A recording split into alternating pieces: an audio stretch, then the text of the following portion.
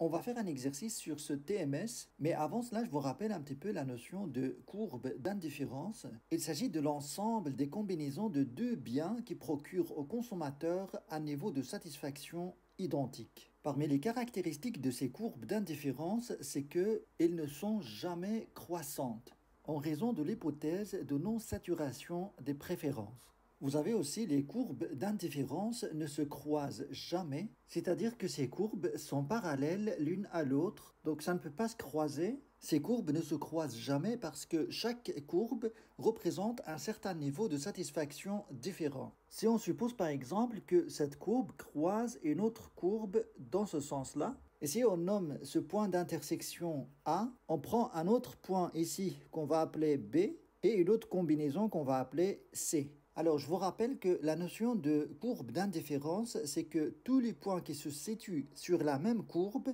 présentent la même satisfaction. Ce qui fait que la combinaison B et la combinaison A sont équivalentes en termes de satisfaction. Mais pareil pour C et A sont équivalentes en termes de satisfaction parce que ça se situe sur une même courbe. Mais par contre, on voit clairement que la combinaison C est inférieure à la combinaison B car dans la combinaison B, on a plus de cerises que dans la combinaison C. Donc, ce qui n'est pas logique. C'est pour cela que les courbes d'indifférence ne se croisent jamais. On va faire un exercice sur le TMS. Je vous rappelle d'abord ce que ça veut dire TMS. Il s'agit d'un taux marginal de substitution d'un bien par rapport à un autre. Si par exemple un consommateur veut passer de la combinaison 1 à la combinaison B.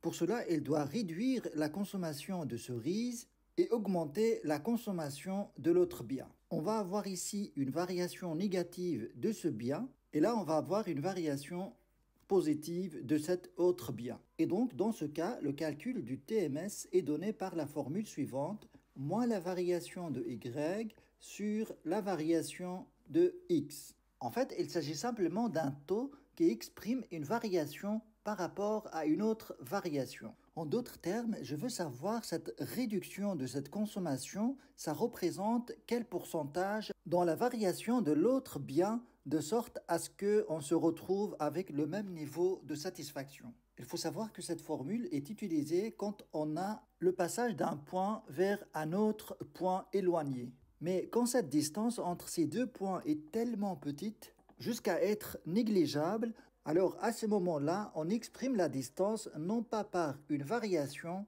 mais par les dérivés. Et la formule utilisée pour cela, c'est l'utilité marginale de x sur l'utilité marginale de y. L'utilité marginale de x n'est rien d'autre que la dérivée de la fonction d'utilité par rapport à x.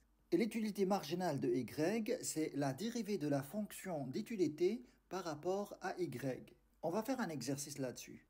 Imaginez par exemple que vous avez cette fonction d'utilité de x fois y. Alors le TMS se calcule par le rapport de l'utilité marginale de x et l'utilité marginale de y.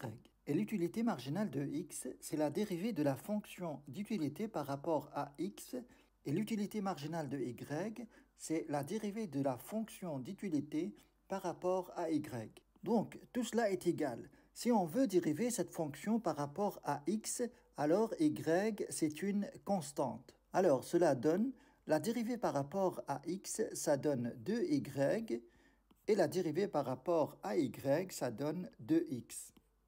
Ce qui fait au final y sur x. Donc, notre TMS, ça donne une fonction y sur x.